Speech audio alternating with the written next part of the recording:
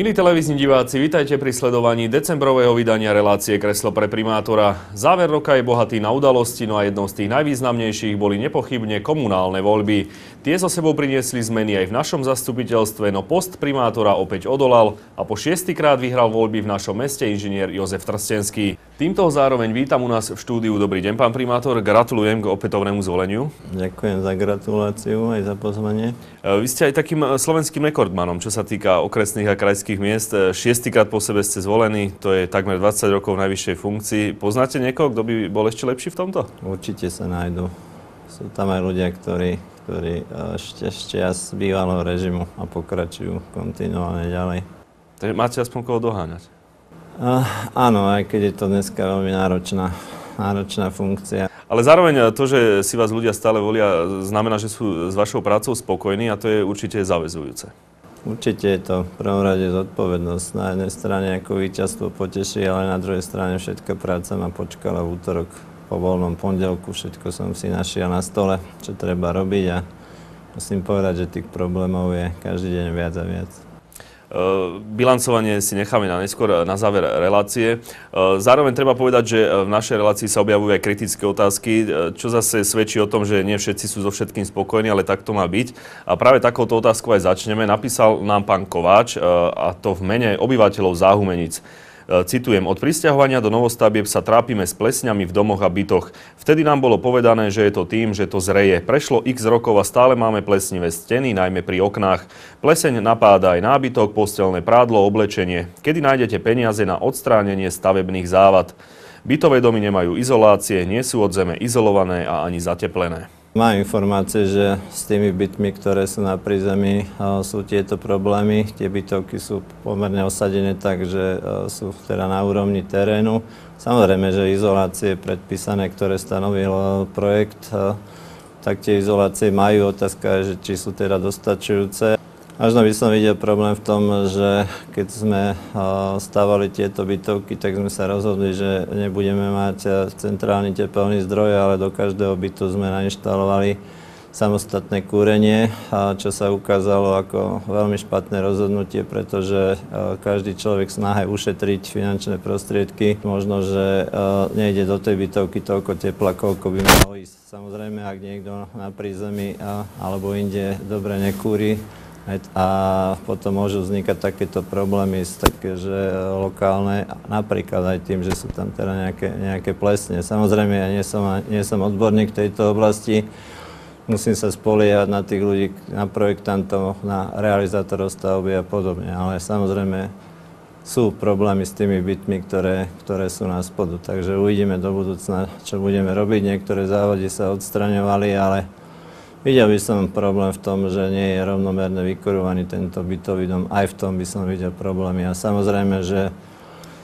správcom týchto bytov je mestský bytový podnik, ktorý by mal všetky tieto závady postupne odstraňovať. Nie je celkom pravda, že nerobíme, neopravujeme, to nie je pravda, robíme, ale otázka je, či robíme dostatočne efektívne. Podľa pána Kováča sa s obdobnými problémami stretávajú obyvateľia ulici Južná a Čachtická. On dokonca uh, navrhuje, aby ste zvážili výšku nájomného vzhľadom na tie podmienky.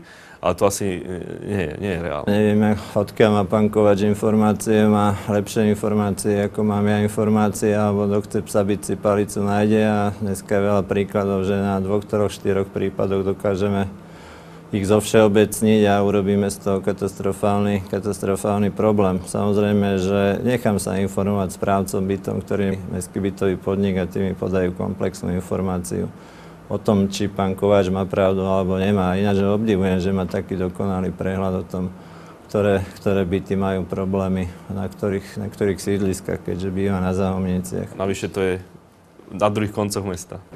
Tak možno, možno sa s niekým stretol, kto, kto mohol mať nejaký takýto problém, ale znovu je, to, znovu je to otázka, že či to je pravda, či to je jeden prípad, dva prípady, 10 prípadov. Mesto v súčasnej dobe spravuje 715 nájomných bytov a bez problémov povedať, že, že tí byty sú zlé. Nechcem byť teraz moc ako kritický, ale každý človek si je zodpovedný za svoje, za svoje bývanie a v rámci koncepcie bytovej politiky, ktorý má štát, je to tam jedno jednoznačne napísané. Mesta, obce a štát vytvára len podmienky na to, aby si ľudia mohli zabezpečiť strechu nad hlavou, ale je to ich povinnosť. Pokiaľ teda výrazným spôsobom sa mu nepáči ten byt, tak a nedokážeme ho dostať do takého stavu, aby bol spokojný, tak pravdepodobne si bude musieť nájsť iné bývanie, ktoré mu bude vyhovať, ktoré si bude musieť zabezpečiť sám. Toto sa mi nehovorí dobre a nie je to ani pekné, čo som povedal, ale taká je realita. Každý človek je zodpovedný za svoje bývanie. Začiatkom decembra sa losovali ďalšie byty, ktoré ste postavili v Novom meste nad Váhom. Je ich 49, tak možno môžete, aby som tak odľahčil, očakávať ďalšie stiažnosti. Tak určite áno. Niekto si predstavoval, že bude mať, že bude mať byť na, možno na druhom poschodí, niekto na treťom, niekto chcel na prvom a, a losovanie je na jednej strane spravodlivé, ale v podstate nevždy presne vystihne konkrétnu situáciu niektorých ľudí. Musím povedať, že sme losovali len 44 bytov, 5 bytov podľa Všeobecného záväzného nariadenia mesta pridelíme neskôr a práve tam Tých 5 bytov je ponechaných na to, aby boli odstránené možno niektoré nešťastia tých, ktorí neboli vylosovaní a napríklad ich e, bytová situácia je horšia možno ako tých, ktorí, ktorí boli vylosovaní. Takže práve e, týchto 5 bytov slúži na to, aby boli tieto byty poskytnuté tým rodinám, ktoré si to teraz to poviem, že viacej možno zaslúžia ako tí, ktorí boli šťast, tí, ktorí boli vylosovaní. No vidíte, možno veľa ľudí si myslí, že tie byty sú už dávno pridelené, ktoré máte vy možnosť. A oni sú teda ešte prázdne. Počul som to v rámci predvolebnej kampane, samozrejme, že som sa nad tým neusmial, ale život ukázal, že pravdu mal zase primátor a nie tí, ktorí tvrdili pravý opak. Takže si myslím, že losovanie svojím spôsobom je najspravodlivejšie, aj keď nie je úplne spravodlivé, lebo Komisia bytová, keď vybrala neviem, 140 žiadateľov byty, skúmala, skúmala ich podmienky bytové, ktoré mali, tak uh, nemôže mať 140 ľudí rovnaké bytové podmienky. Sú tam aj takí zaradení, ktorí mali možno lepšie bytové podmienky, ale sú tam aj takí, ktorí sú v určitej životnej kritickej situácii a ten byt jednoducho potrebujú. A už bolo niekoľko telefonátov, osobných návštev a smutku a plaču. A, takže to sú veci, ktorými sa musíme vyrovnať v tej ďalšej etape. Pokračovať budeme listom od Rudolfa Roberta Tillerových. E, týka sa športu a prečítam aspoň zo pár takých výstižných vied. Nedávno ste sa vyjadrili na Margo futbalu v Novom meste, že vás veľmi mrzí, že nevieme vychovať svojich hráčov. Zároveň však nerobíte nič preto, aby to tak nebolo. Keď sa nájdu financie na ihriska, cesty, chodníky, tak prečo sa nenájdu financie aj na šport ako taký? E, vedú to ľudia, ktorým na tom nezáleží. Neviete si oceniť skutočných trénerov, ktorým naopak záleží na tom, aby to deti niekam dotiahli neschopných ľudí vo funkciách by ste mali vymeniť. Tak vy, pán primátor, ako bývalý športovec, e, futbalista, brankár, myslíte si, že vo vedení nášho futbalu sú naozaj nekompetentní ľudia? Tak v tejto otázke je strašne veľa nepresností. V prvom rade si musíme povedať, že atleticko-futbalový klub je občianske, občianske združenie, ktoré má legitímne a zvolené vedenie. Je členská schôdza, tá rozhodne o tom, kto vedie klub to je ad 1. Ad 2. A môžem s plnou vážnosťou povedať všetkým, ktorí počúvajú toto kreslo, že v Novom meste nad Váhom neexistuje záujem ľudí, ktorí by chceli pracovať pre novomestský fotbal v nejakých funkciách, ktorí by na seba chceli zobrať aj zodpovednosť.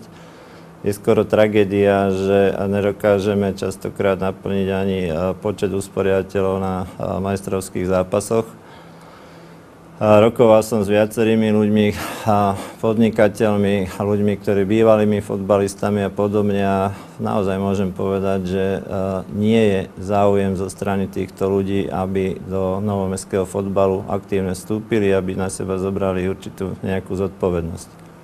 Ak takýchto ľudí, ja znovu vyzývam všetkých, ktorí chcú pracovať, ktorí majú schopnosti a možnosti pomôcť futbalu, nielen kritizovať, a hovoriť, čo majú tí druhí robiť, lebo tých druhých, čo to majú robiť, som zistil, že tých e, na to mi stačí, stačia prsty na jednej ruke a možno ich nepotrebujem ani 5 na to, aby som mohol povedať, ktorí sú to. Tak ja vyzývam týchto ľudí, poďte pracovať pre noveský fotbal. Ad 2. Čo sa týka uh, výchovy, výchovy detí, tak uh, z hľadiska športovej stránky môžem znovu zodpovedne povedať, že rodičia, ktorí tušia sebe menší talent u svojich detí, vnúčat a podobne, tak eh, zoberú tých najtalentovanejšie deti, zoberú z prostredia novomestského futbalu a idú napríklad do Trenčína alebo do iných klubov, kde čakajú, že z ich detí a vnúkov vyrastú špičkoví futbalisti, ktorí sa budú živiť futbalom a, a budú úspešní a prerazia.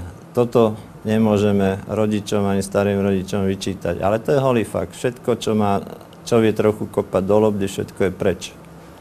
V desiatich, deviatich rokoch, takže to už v takomto útlom veku jednoducho deti odchádzajú v súčasnej dobe najviac do Trenčina, kde je ten tréningový proces na veľmi kvalitnej, kvalitnej úrovni. Takže to je z hľadiska športového. Z hľadiska finančného bola staviať tie cesty, chodníky, mnoho iných vecí a tak ďalej a tak ďalej.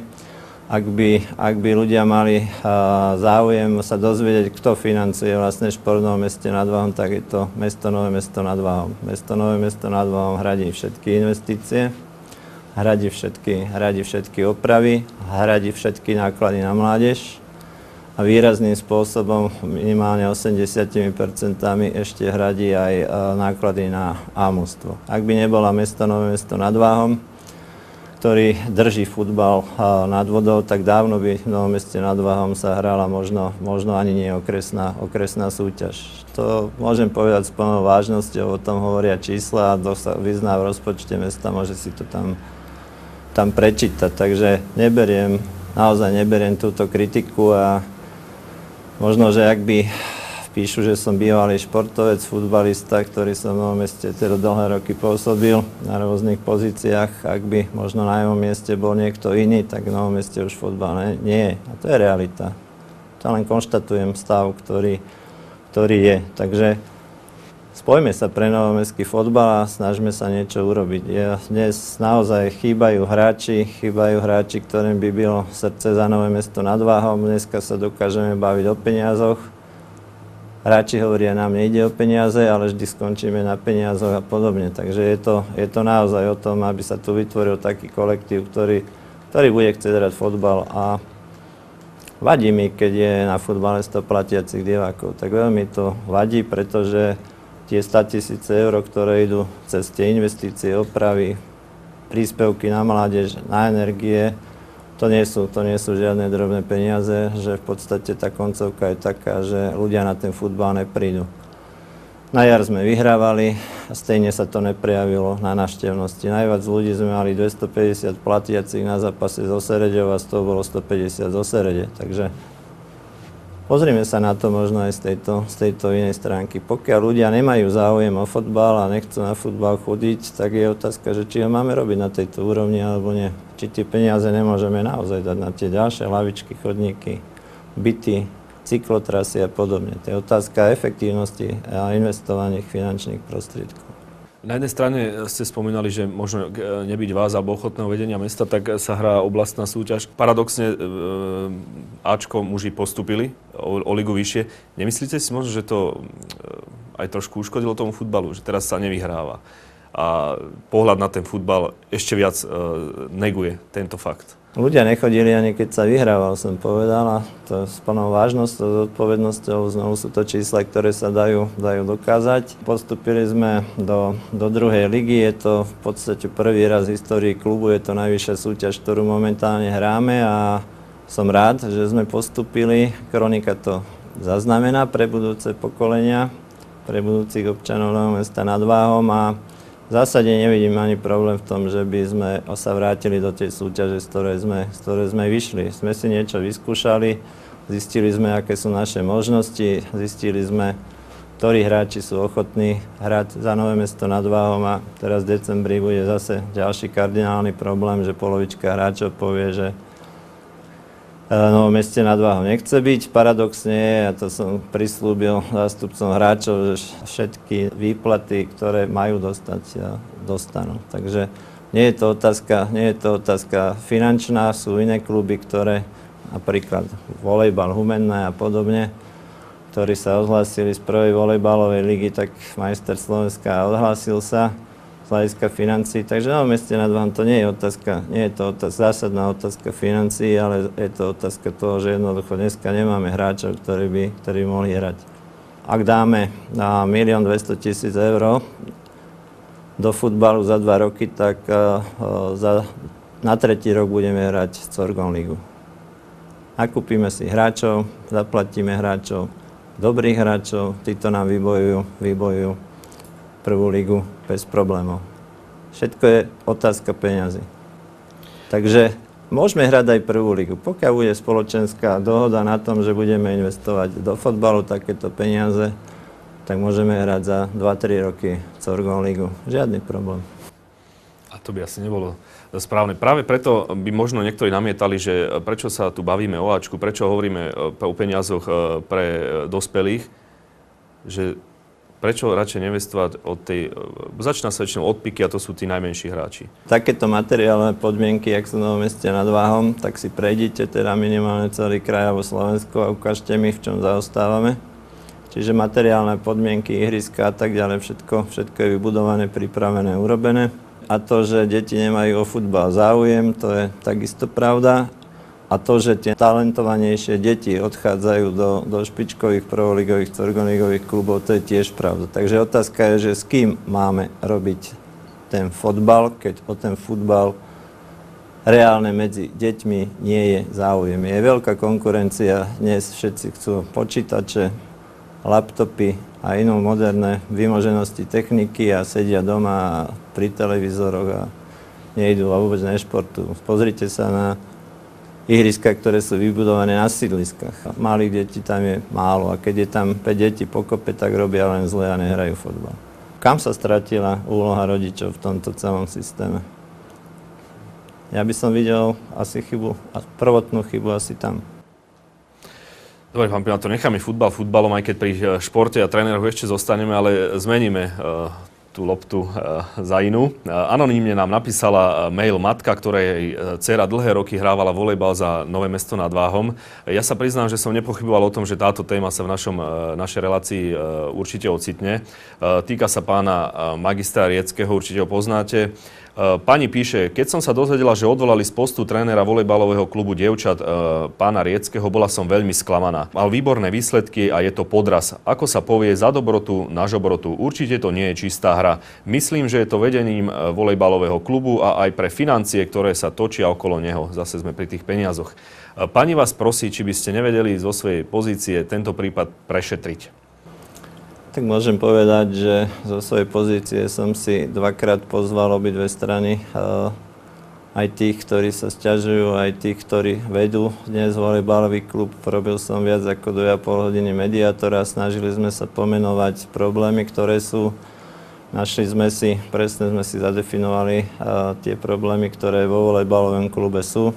Dali sme si nejaký, nejaký čas a termín na to, či sú schopní sa tieto dve strany dohodnúť teda ženská zložka, mužská zložka, či sú schopní sa dohodnúť a nájsť nejaké spoločné riešenie, tak aby netrpeli deti. Lebo toto nie je, toto nie je o, o rodičoch ani o tréneroch, toto je o tom, aby tie deti, ktoré chcú hrať volejbal, aby ho mohli hrať, aby sa mohli v pokoji pripravovať na svoju športovú činnosť ľudia, ktorí vedú mužskú zložku a ktorú vedú ženskú zložku, sa nevedia dohodnúť, sú tam antagonistické rozpory. Legitímne zvolené vedenie volejbalového klubu povie, že pán Riecky z nejakých dôvodov, ktoré sú na ich strane a ktorí boli pomenované, že pán Riecky nebude trénovať pokiaľ to bude pod volejbalným klubom. Na druhej strane ženská zložka má výrazné výhrady voči manažovaniu volejbalového klubu, voči napríklad osobe pána Šujana,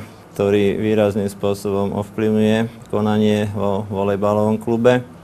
Takže jedna zložka, mužská zložka povedala, že nechcú Rieckého, ženská zložka povedala, že nechcú Šujana a obidvaja striktne trvajú na tom svojom názore. Takže tam žiadny mediátor jednoducho nepomôže, pokiaľ si niekto stanoví takto podmienky, o ktorých vie, že druhá strana ich nebude akceptovať, to je jedno jednoznačne povedané, že sa dohodnúť e, nechcú. Takže tu žiadny primátor a znovu sa jedná o občianske združenie. Znovu vytvárame nezištné podmienky pre činnosť volejbalového klubu. V zásade všetko, takmer všetko hradí znovu mesto od prevádzky cez investície. Viete, že sme nabúchali do haly vyše 350 tisíc eur za posledné dva roky. Vytvorili sme nadštandardné podmienky na to, aby deti našich novomestských občanov mohli uh, trénovať a rozvíjať sa po tej športovej stránke v príjemnom, kvalitnom prostredí. Takže hradíme znovu všetky energie, dávame dotácie na mládež, uh, výrazné dotácie ponechávame volejbalovému klubu príjmy z nájmov, ktoré sú v našej športovej hale. Takže vytvárame absolútne nadštandardné, na slovenské pomery nadštandardné podmienky na to, aby tento klub mohol financovať. A napriek tomu, keďže všetko všade pôsobíme my ľudia, my ľudia sme proste tak založení, že nie sme schopní akceptovať názory tých druhých a jednoducho presadzujeme svoje názory a proste volejbalový klub tom ponímaní, ako som povedal, že je to legitímne zvolenie eh, vedenie volejbalového klubu, ktoré má svoje práva, povinnosti a zodpovednosť, ale nedokáže sa dohodnúť so ženskou zložkou. Tí majú zase svoje argumenty, keď ich počúvate, tak každý má šťastie pravdu, ale stráca sa, stráca sa schopnosť dohodnúť sa pre tie deti, aby to fungovalo. Tu dneska si dospelí ľudia presadzujú svoje práva, alebo správa, alebo to, čo považujú oni za dobré a vôbec sa nepozerajú na to, čo, pre koho to majú robiť a pre koho to robia. To sú tie deti, ktoré v tom volejbalovom klube fungujú. A to je, to je ako smutné, smutné konštatovanie. Záver bude pravdepodobne taký, keďže sa nevedia dohodnúť, že vznikne nový, nazvali to, že mestský volejbalový klub, ktorý, ktorý bude mať len a ženskú zložku. Dneska ešte sa nedôstojne handrkujú práve o, tých, o tieto deti, že či prestúpia alebo neprestúpia z volejbalového klubu do nového klubu. Na jednej strane e, pre mňa e, niekedy ostane mi rozum stáť, e, žiadajú výchovné, volejbalový klub žiada výchovné za tieto deti, ktoré by mali ísť do toho, do toho nového vzniknutého klubu a nikto sa nepozerá na tie deti či sa budú na mňa hnevať uh, legitímne zvolení členovia správnej rady volejbalového klubu, či sa na mňa budú hnevať rodičia, ktorí zastupujú ženskú zložku. Toto je, toto je z môjho pohľadu ten záver, ktorý som získal po niekoľkých hodinách, ktoré som strávil aj s nimi, ale ktoré som si, niektoré informácie som si nechal overiť a jednoducho je to tak, tie deti sú niekde na konci, pretože rodičia, ak by mali záujem, a všetci, a volejbalový klub, reálny, úprimný záujem na tom, aby deti mohli športovať, tak by, tak by sa vedeli, museli by sa vedieť dohodnúť v záujme tých detí, ktor, a ktorých, za ktorých sa všetci skovávajú. Bohužiaľ, takáto je situácia. Ak si niekto myslí, že to vyrieši mesto, mesto nie je všemocné. Ja by som musel robiť asi predsedu všetkých oddielov na Novom meste nad Váhom a už môj čas, môj čas proste na to nestačí. Môžem spraviť poriadok. Uh, nedostanú peniaze. Práve na to sa chcem e, spýtať, že teda, že či viete povedať na rovinu, že je to ješitnosť, e, sú to osobné spory, alebo sú to peniaze? Sú to osobné spory, som to pomenoval celkom presne. Možno som si vyberal niektoré slova, vedel by som to povedať aj tvrdšie. Je to ješitnosť dospelých ľudí. Poďme ďalej, pán primátor. Prejdeme na, do úplne inej sféry. So svojou požiadavkou sa na vás obracia pani Ivona, ktorú trápia zle vybudované alebo teda zničené zastávky autobusové. Konkrétne má na mysli tie pri Vápenke a kultúrnom dome. E, prečítam, plexisklo nie je po všetkých stranách, bude rozbité alebo namontované ani nebolo. Hrozne tam fúka, v zime je to hrozné ustať, čo i len na 5 minút. Takí ľudia, ktorí chodia autom, to nepochopia, ale cestujúci, tak ako ja, mi dajú zapravdu, že v zime je to dosť náročné tam čakať na autobus.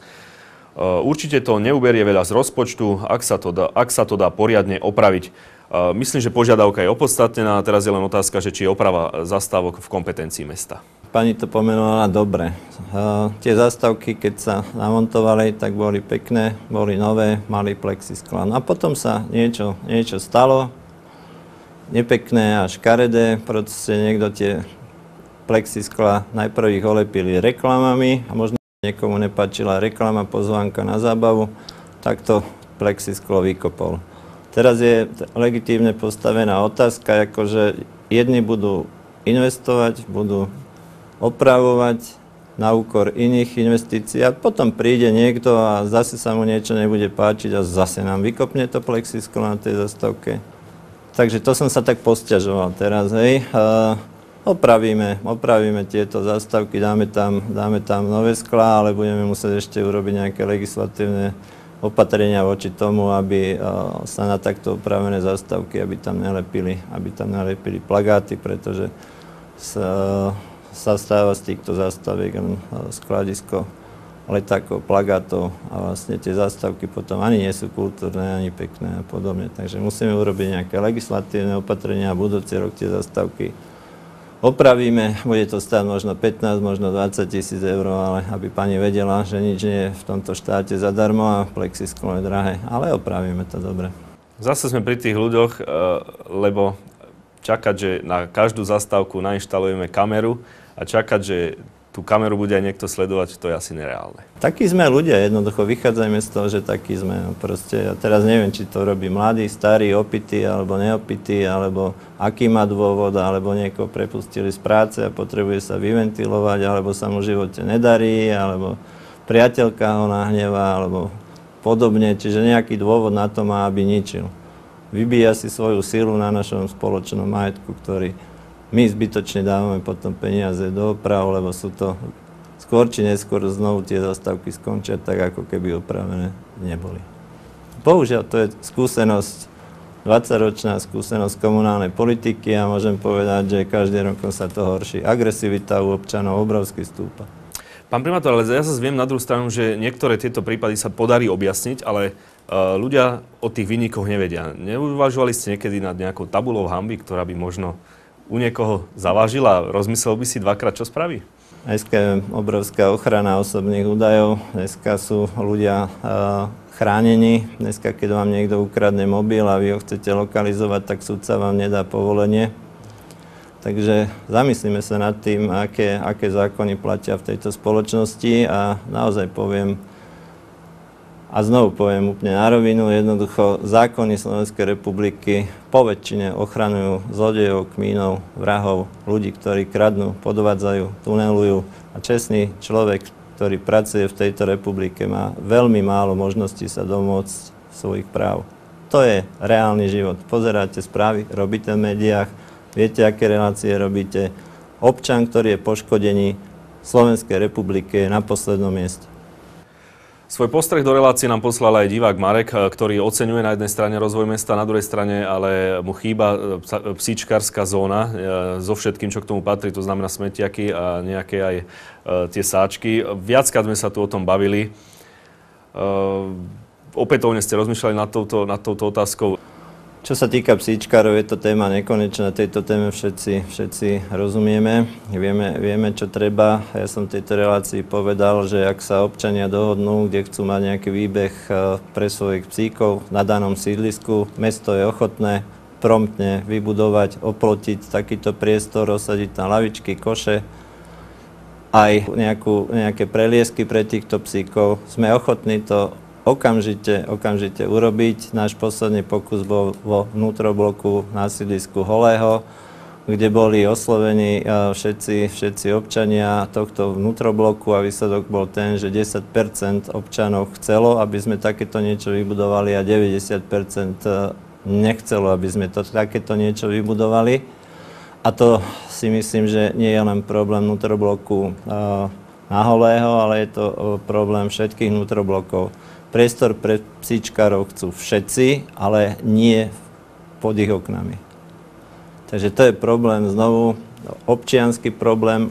Vieme, že by sme to chceli, ale nevieme, kde to chceme, ale určite vieme, že to nechceme pod svojimi, pod svojimi oknami. A pritom každé sídlisko, keby dostalo menší, väčší takýto výbeh, určite by potom ľudia nemuseli chodiť po celom, po celom meste a Dokonca som slúbil, že zakúpime čistiacu techniku a budeme, budeme tie psie exkrementy vysávať, pokiaľ si ich teda občan nedokáže zdvihnúť a, a dať psi exkrement do sáčka a hodiť do koša. Takže mesto je pripravené, je ochotné, urobím všetko preto, aby psie parčiky boli, ale ľudia musia povedať, kde chcú. Budem sa tešiť, ak sa mi netrhnú dvere, jak budú chodiť ľudia po tejto relácii a budú hovoriť, tuto bývam, tuto mi urobte, oplotte priestor, tuto budeme venčiť svojich psíkov.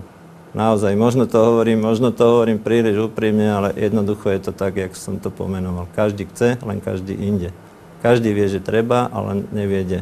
Mesto vybuduje, znovu môžem slúbiť, verejne slúbiť, že vybudujeme krásne venčoviska pre psov, ohradíme ich, môžeme im spraviť aj pieskoviska, tam je to jedno. Ja spravím všetko preto, aby som spravil všetko, čo ľudia budú chcieť pre svojich psích miláčikov spraviť. Osobne máme doma dvoch psíkov a jednu mačku, aj keď som sa dozvedel, že na Facebooku, že som v roku 2013 a 2014 nehal vyvraždiť všetkých psov a mačky na Trenčanskej ulici, som sa dozvedel z Facebooku. No, tak to už ste ozaj všemocný. Je to teda násmiech, čo dokážu ľudia napísať pod ruškom anonymity aké nezmysly, ohovárania, urážky. No ale žijeme ten život, ako sme povedali, sme agresívni, sme na seba zlí, závidíme si aj rakovinu, takže čo sa čudujeme. Takže urobím všetko preto, aby boli psi, psi park. Tak, aby sme odľahčili tie vaše dvere od kancelárie, e, je veľa zvolených e, poslancov nových, tak môžu sa realizovať aj, aj, aj v tejto sfére. Určite je to priestor pre poslancov, ktorí sú zvolení vo svojich volebných obvodoch a mali by s ľuďmi pracovať a mali by prinášať námety na, do orgánov samozprávy a mesto bude potom na to reagovať, na tieto požiadavky občanov. To nie je o tom, že napíšem do relácie kreslo pre primátora, problém je vyriešenie tak toto ale nefunguje. Preto som umyselne spomenul tých poslancov, pretože si nemyslím, že e, ľudia vedia, čo všetko poslanci robia, čo všetko môžu robiť, na čo sú tu vôbec. Nakoniec tu máme opäť jednu požiadavku na vašu osobu. Tento raz napísala pani alebo slečna Zuzana. Prečítam. Chcem sa spýtať, či by sa nedalo umiestniť zrkadlo pri výjazde z parkoviska na Holubyho ulici. Na tomto parkovisku stávajú aj vyššie auta a keď sa potrebujete dostať na cestu smerom ku kruhovému objazdu, je strašne zlá viditeľnosť a nedá sa poriadne a bezpečne výjsť. Podľa Zuzany by to určite uvítali aj ostatní účastníci premávky. Takže asi ide o ten priestor pred kaplnkou, hej, z toho výjazdu. Môžeme sa tým zaoberať, dám tento podneť eh, postupy na dopravnú komisiu. Nech to oni posúdia a spravia návrh. Nie to. Pán primátor, e, práve toto predvianočné obdobie e, je časom, kedy človek e, sa snaží aspoň teda trošku pribrzdiť, bilancovať. Tak sa spýtam, aký bol pre vás rok 2014, teraz myslím z profesionálneho hľadiska. Ste spokojní, splnili ste si to, čo ste si zaviazali, alebo, alebo naopak je niečo, s tým nie ste spokojní?